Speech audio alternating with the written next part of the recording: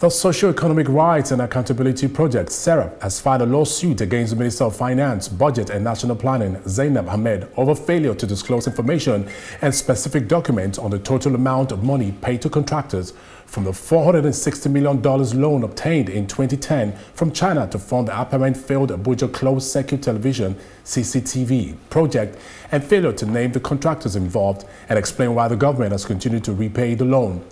In a suit filed last week at the Federal High Court of Abuja, SERAP is seeking an order for leave to apply for judicial review and an order to direct and or compel the Minister of Finance to disclose the details of local companies and Chinese contractors that have received funds from the $460 million loan for the finance of the failed Abuja CCTV project, as well as details of the status of implementation of the project.